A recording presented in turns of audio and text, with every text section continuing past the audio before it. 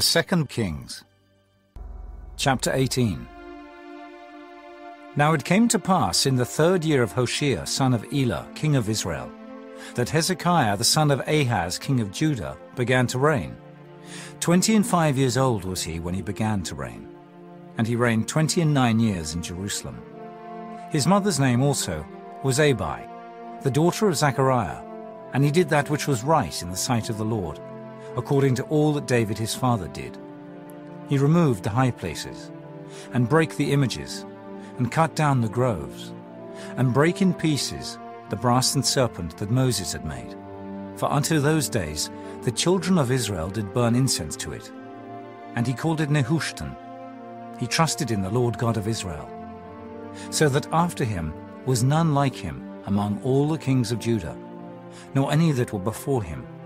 For he clave to the Lord, and departed not from following him, but kept his commandments, which the Lord commanded Moses. And the Lord was with him. And he prospered whithersoever he went forth. And he rebelled against the king of Assyria, and served him not. He smote the Philistines, even unto Gaza and the borders thereof, from the tower of the watchman to the fenced city. And it came to pass in the fourth year of King Hezekiah, which was the seventh year of Hoshea son of Elah king of Israel, that Shalmaneser king of Assyria came up against Samaria, and besieged it. And at the end of three years they took it. Even in the sixth year of Hezekiah, that is the ninth year of Hoshea king of Israel, Samaria was taken. And the king of Assyria did carry away Israel unto Assyria, and put them in Halah and in Habor, by the river of Gozan, and in the cities of the Medes. Because they obeyed not the voice of the Lord their God, but transgressed his covenant, and all that Moses the servant of the Lord commanded, and would not hear them, nor do them. Now in the fourteenth year of King Hezekiah did Sennacherib, king of Assyria, come up against all the fenced cities of Judah, and took them. And Hezekiah, king of Judah, sent to the king of Assyria, to Lachish, saying, I have offended. Return from me. That which thou puttest on me will I bear. And the king of Assyria appointed unto Hezekiah, king of Judah, three hundred talents of silver, and thirty talents of gold. And Hezekiah gave him all the silver that was found in the house of the Lord, and in the treasures of the king's house. At that time did Hezekiah cut off the gold from the doors of the temple of the Lord, and from the pillars which Hezekiah king of Judah had overlaid, and gave it to the king of Assyria. And the king of Assyria sent Tartan and Rabsaris and Rabshakeh from Lachish to King Hezekiah with a great host against Jerusalem. And they went up and came to Jerusalem. And when they were come up, they came and stood by the conduit of the upper pool, which is in the highway of the fuller's field. And when they had called to the king, they came out to them Eliakim, the son of Hilkiah, which was over the household, and Shebna the scribe, and Joah the son of Asaph the recorder. And Rabshakeh said unto them, Speak ye now to Hezekiah. Thus saith the great king, the king of Assyria, What confidence is this wherein thou trustest? Thou sayest, but they are but vain words. I have counsel and strength for the war. Now on whom dost thou trust that thou rebellest against me? Now, behold, thou trustest upon the staff of this bruised reed, even upon Egypt, on which if a man lean, it will go into his hand and pierce it. So is Pharaoh king of Egypt unto all that trust on him. But if ye say unto me, We trust in the Lord our God, is not that he whose high places and whose altars Hezekiah hath taken away, and hath said to Judah and Jerusalem, Ye shall worship before this altar in Jerusalem? Now therefore I pray thee, give pledges to my lord the king of Assyria, and I will deliver thee two thousand horses, if thou be able on thy part to set riders upon them. How then wilt thou turn away the face of one captain of the least of my master's servants, and put thy trust on Egypt for chariots and for horsemen? Am I now come up without the Lord against this place to destroy it? The Lord said to me, Go up against this land and destroy it. Then said Eliakim, the son of Hilkiah, and Shebna, and Joah, unto Rabshakeh, Speak, I pray thee, to thy servants in the Syrian language, for we understand it. And talk not with us in the Jews' language, in the ears of the people that are on the wall. But Rabshakeh said unto them, Hath my master sent me to thy master, and to thee to speak these words? Hath he not sent me to the men which sit on the wall, that they may eat their own dung and drink their own piss with you? Then Rabshakeh stood and cried with a loud voice in the Jews' language, and spake, saying, Hear the word of the great king, the king of Assyria. Thus saith the king, Let not Hezekiah deceive you, for he shall not be able to deliver you out of his hand. Neither let Hezekiah make you trust in the Lord, saying, The Lord will surely deliver us, and this city shall not be delivered into the hand of the king of Assyria. Hearken not to Hezekiah, for thus saith the king of Assyria, Make an agreement with me by a present, and come out to me, and then eat ye every man of his own vine, and every one of his fig tree, and drink ye every one the waters of his cistern until I come and take you away to a land like your own land, a land of corn and wine, a land of bread and vineyards, a land of oil, olive, and of honey, that ye may live and not die, and hearken not unto Hezekiah when he persuadeth you, saying, The Lord will deliver us. Hath any of the gods of the nations delivered at all his land out of the hand of the king of Assyria? Where are the gods of Hamath? and of Arpad? Where are the gods of Sepharvaim, Hena, and Ivah? Have they delivered Samaria out of mine hand? Who are they among all the gods of the countries that have delivered their country out of mine hand, that the Lord should deliver Jerusalem out of mine hand? But the people held their peace, and answered him not a word. For the king's commandment was, saying, Answer him not. Then came Eliakim, the son of Hilkiah, which was over the household, and Shebna the scribe, and Joah the son of Asaph the recorder, to Hezekiah with their clothes rent, and told him the words of Rabshakeh. Chapter 19 And it came to pass, when King Hezekiah heard it, that he rent his clothes, and covered himself with sackcloth, and went into the house of the Lord. And he sent Eliakim, which was over the household, and Shebna the scribe, and the elders of the priests, covered with sackcloth, to Isaiah the prophet, the son of Amoz. And they said unto him, Thus saith Hezekiah, This day is a day of trouble and of rebuke and blasphemy. For the children are come to the birth, and there is not strength to bring forth. It may be the Lord thy God will hear all the words of Rabshakeh, whom the king of Assyria his master hath sent to reproach the living God, and will reprove the words which the Lord thy God hath heard, Wherefore lift up thy prayer for the remnant that are left. So the servants of King Hezekiah came to Isaiah. And Isaiah said unto them, Thus shall ye say to your master, Thus saith the Lord, Be not afraid of the words which thou hast heard, with which the servants of the king of Assyria have blasphemed me. Behold, I will send a blast upon him, and he shall hear a rumor, and shall return to his own land and I will cause him to fall by the sword in his own land. So Rabshakeh returned, and found the king of Assyria warring against Libnah, for he had heard that he was departed from Lachish. And when he heard say of Tirhakah, king of Ethiopia, Behold, he is come out to fight against thee, he sent messengers again unto Hezekiah, saying, Thus shall ye speak to Hezekiah king of Judah, saying, Let not thy God in whom thou trustest deceive thee, saying, Jerusalem shall not be delivered into the hand of the king of Assyria. Behold, thou hast heard what the kings of Assyria have done to all lands, by destroying them utterly, and shalt thou be delivered?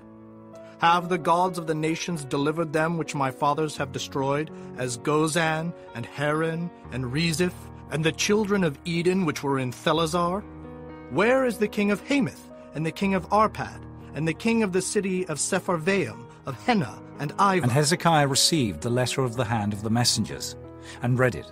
And Hezekiah went up into the house of the Lord, and spread it before the Lord. And Hezekiah prayed before the Lord, and said, O Lord God of Israel, which dwellest between the cherubims, thou art the God, even thou alone, of all the kingdoms of the earth. Thou hast made heaven and earth. Lord, bow down thine ear and hear. Open, Lord, thine eyes, and see, and hear the words of Sennacherib, which hath sent him to reproach the living God. Of a truth, Lord, the kings of Assyria have destroyed the nations and their lands, and have cast their gods into the fire, for they were no gods, but the work of men's hands, wood and stone. Therefore they have destroyed them. Now, therefore, O Lord, our God, I beseech thee, save thou us out of his hand, that all the kingdoms of the earth may know that thou art the Lord God, even thou only. Then Isaiah the son of Amoz sent to Hezekiah, saying, Thus saith the Lord God of Israel, That which thou hast prayed to me against Sennacherib, king of Assyria, I have heard. This is the word that the Lord hath spoken concerning him. The virgin, the daughter of Zion, hath despised thee, and laughed thee to scorn. The daughter of Jerusalem hath shaken her head at thee. Whom hast thou reproached and blasphemed? And against whom hast thou exalted thy voice, and lifted up thine eyes on high? Even against the Holy One of Israel. By thy messengers thou hast reproached the Lord, and hast said, With the multitude of my chariots I am come up to the height of the mountains, to the sides of Lebanon, and will cut down the tall cedar trees thereof, and the choice fir trees thereof, and I will enter into the lodgings of his borders, and into the forest of his Carmel. I have digged and drunk strange waters, and with the sole of my feet have I dried up all the rivers of besieged places. Hast thou not heard long ago how I have done it, and of ancient times that I have formed it? Now have I brought it to pass, that thou shouldest be to lay waste fenced cities into ruinous heaps. Therefore their inhabitants were of small power. They were dismayed and confounded. They were as the grass of the field, and as the green herb, as the grass on the housetops, and as corn blasted before it be grown up. But I know thy abode, and thy going out, and thy coming in, and thy rage against me. Because thy rage against me and thy tumult is come up into mine ears. Therefore I will put my hook in thy nose, and my bridle in thy lips, and I will turn thee back by the way by which thou camest. And this shall be a sign unto thee. Ye shall eat this year such things as grow of themselves. And in the second year, that which springeth of the same. And in the third year, sow ye, and reap, and plant vineyards, and eat the fruits thereof. And the remnant that is escaped of the house of Judah shall yet again take root downward, and bear fruit upward. For out of Jerusalem shall go forth a remnant, and they that escape out of Mount Zion, the zeal of the Lord of hosts shall do this. Therefore thus saith the Lord concerning the king of Assyria, He shall not come into this city, nor shoot an arrow there, nor come before it with shield, nor cast a bank against it. By the way that he came, by the same shall he return, and shall not come into this city, saith the Lord. For I will defend this city, to save it for mine own sake, and for my servant David's sake. And it came to pass that night that the angel of the Lord went out, and smote in the camp of the Assyrians an hundred fourscore and five thousand. And when they arose early in the morning, behold, they were all dead corpses. So Sennacherib king of Assyria departed, and went and returned, and dwelt at Nineveh. And it came to pass, as he was worshipping in the house of Nisroch his god, that Adramelech and Sharezer his sons smote him with the sword. And they escaped into the land of Armenia. And Esarhaddon his son reigned in his stead. Chapter 20 In those days was Hezekiah sick unto death. And the prophet Isaiah the son of Amoz came to him, and said unto him, Thus saith the Lord, Set thine house in order, for thou shalt die, and not live. Then he turned his face to the wall, and prayed unto the Lord, saying, I beseech thee, O Lord, remember now how I have walked before thee in truth, and with a perfect heart, and have done that which is good in thy sight. And Hezekiah wept sore. And it came to pass, afore Isaiah was gone out into the middle court, that the word of the Lord came to him, saying, Turn again, and tell Hezekiah the captain of my people, Thus saith the Lord, the God of David thy father, I have heard thy prayer. I have seen thy tears. Behold, I will heal thee. On the third day thou shalt go up unto the house of the Lord, and I will add unto thy days fifteen years. And I will deliver thee and this city out of the hand of the king of Assyria. And I will defend this city for mine own sake, and for my servant David's sake. And Isaiah said, Take a lump of figs. And they took and laid it on the boil, and he recovered. And Hezekiah said unto Isaiah, What shall be the sign that the Lord will heal me, and that I shall go up into the house of the Lord the third day? And Isaiah said, This sign shalt thou have of the Lord, that the Lord will do the thing that he hath spoken. Shall the shadow go forward ten degrees, or go back ten degrees? And Hezekiah answered, Is it a light thing for the shadow to go down ten degrees? Nay, but let the shadow return backward ten degrees. And Isaiah the prophet cried unto the Lord, and he brought the shadow ten degrees backward, by which it had gone down in the dial of Ahaz. At that time Berodach Baladan, the son of Baladan, king of Babylon, sent letters and a present unto Hezekiah, for he had heard that Hezekiah had been sick.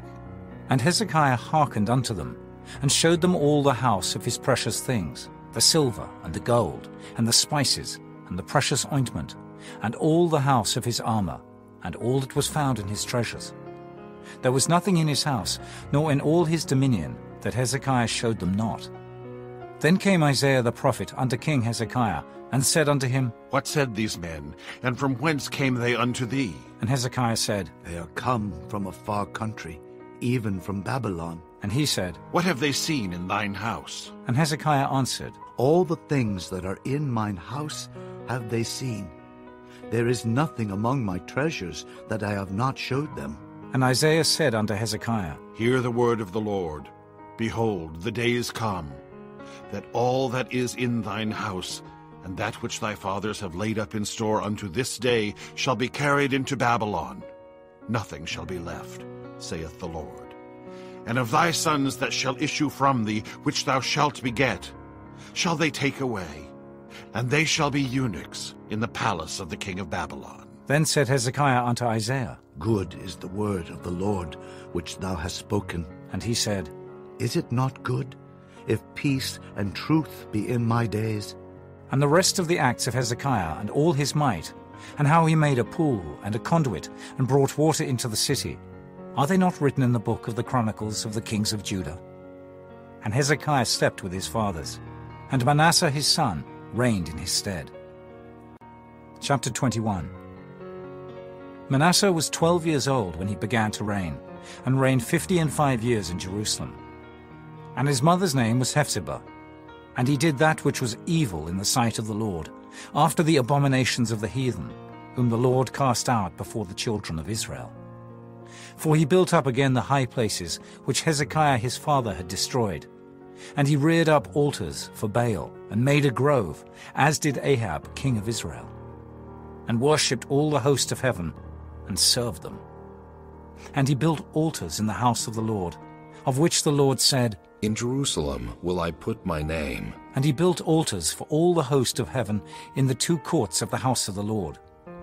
And he made his son pass through the fire, and observed times, and used enchantments, and dealt with familiar spirits and wizards. He wrought much wickedness in the sight of the Lord, to provoke him to anger. And he set a graven image of the grove that he had made in the house, of which the Lord said to David and to Solomon his son, In this house and in Jerusalem, which I have chosen out of all tribes of Israel, will I put my name forever. Neither will I make the feet of Israel move any more out of the land which I gave their fathers, only if they will observe to do according to all that I have commanded them, and according to all the law that my servant Moses commanded them. But they hearkened not.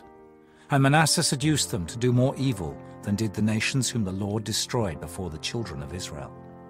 And the Lord spake by his servants the prophets, saying, Because Manasseh king of Judah hath done these abominations, and hath done wickedly above all that the Amorites did which were before him, and hath made Judah also to sin with his idols, therefore thus saith the Lord God of Israel, Behold, I am bringing such evil upon Jerusalem and Judah, that whosoever heareth of it, both his ears shall tingle.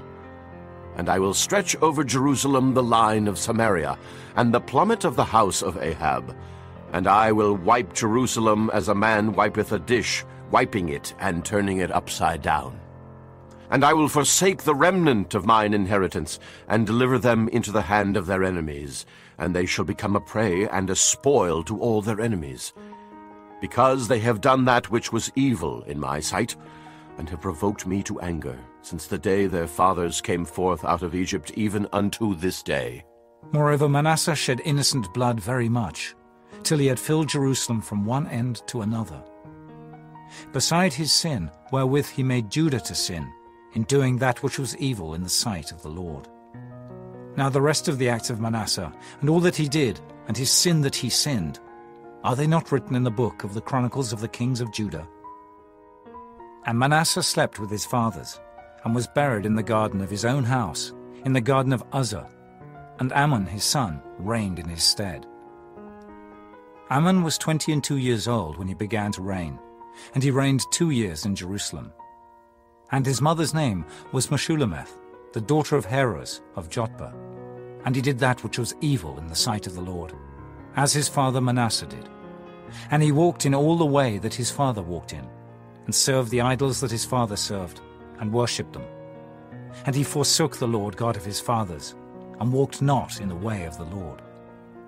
And the servants of Amon conspired against him, and slew the king in his own house. And the people of the land slew all them that had conspired against King Amon. And the people of the land made Josiah his son king in his stead. Now the rest of the acts of Amon which he did, are they not written in the book of the Chronicles of the kings of Judah? And he was buried in his sepulchre in the garden of Uzza, and Josiah his son reigned in his stead.